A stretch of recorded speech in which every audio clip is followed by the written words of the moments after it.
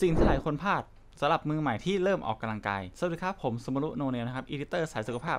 วันนี้เรามาคุยกันว่าสิ่งที่มือใหม่หรือหลายคนมองข้ามไปเวลาที่เริ่มต้นออกกำลังกายอะมันคืออะไรบ้าง ยิ่งโดยเฉพาะไม่มีเทรนเนอร์นะสิ่งนี้สำคัญมาก สิ่งนั้นก็คือเรื่องของการอัดคลิป การอัดคลิประหว่างที่เรากำลังถ่ายนั้น การดู posture การดูท่าทาง การออกกำลังกายว่ารูปแบบรูปฟอร์มอะของเราที่ออกมันถูกต้องหรือเปล่า ซึ่งบางคนคิดว่ามันถูกต้องแล้ว แต่พอมาดูคลิปจริงอ้าวไม่ถูกต้องนี่หว่า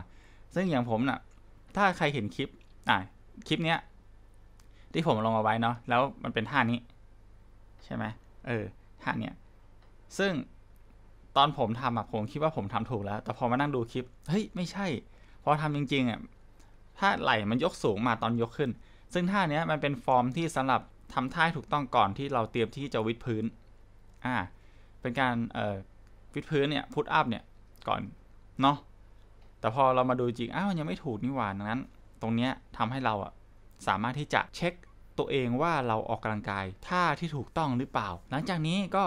ลองกลับไปอัดคลิปกันดูนะว่าเป็นยังไงบ้างสำหรับใครที่ต้องการความรู้อื่นสามารถไล่ย้อนกลับไปดูได้นะ ว่าคลิปผมเนี่ยทำ TikTok ไว้ แล้วใครที่ชอบก็กดหัวใจ follow ติดตาม คอมเมนต์ แชร์